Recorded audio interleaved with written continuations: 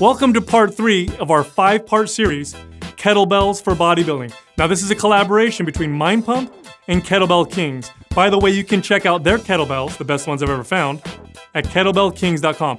Now, in this video, we're gonna show you a back superset. This is fantastic to build the lats and the upper back. You're gonna take the kettlebells and start with a kettlebell row. It's a unique version of a row and move it right to one of the staple kettlebell exercises, the kettlebell swing. Check it out. Now we're getting into the uh, a back exercise, a very good bodybuilding based kettlebell back superset. I love this. I don't know if you guys have ever done this particular combo before.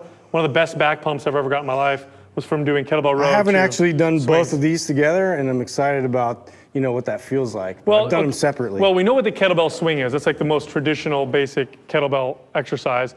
Took the fitness world by storm about what, 12, 13, 14 years ago, uh, for a good reason. Very functional, builds the posterior chain, gives you great power Great in your muscle hips. endurance. People don't realize though, when you combine that with other traditional bodybuilding exercises, it's a great muscle builder. And that's what we're gonna show right now. Yeah. So, so we'll do what, uh, we're gonna start with our staggered stance kettlebell row. This will be your first exercise.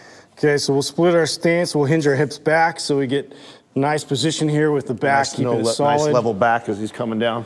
Okay, I'm actually going to throw a little bit of rotation into this, so I'm going to start here with sort of a, a Pronated hand pronated hand grip, and I'm going to lift it up, and then I'm going to look forward with my eyes and rotate it in Excellent. and squeeze that shoulder blade there. Excellent. So he's getting that little bit of rotation. He's working the rhomboids, the lats, the mid trapezius muscles.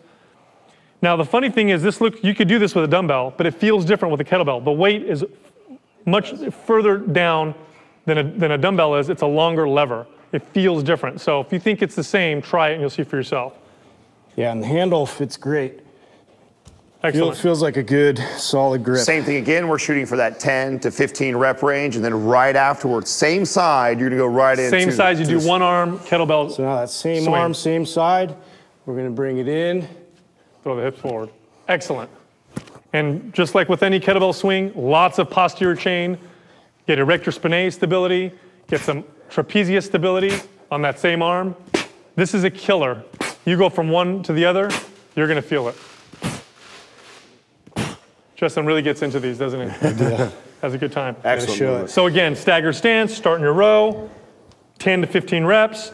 Immediately take that same kettlebell, get into your swing, do your swing into the 10 to 15 reps. Rest, do the other side. I typically recommend three to four sets of that. Perfect.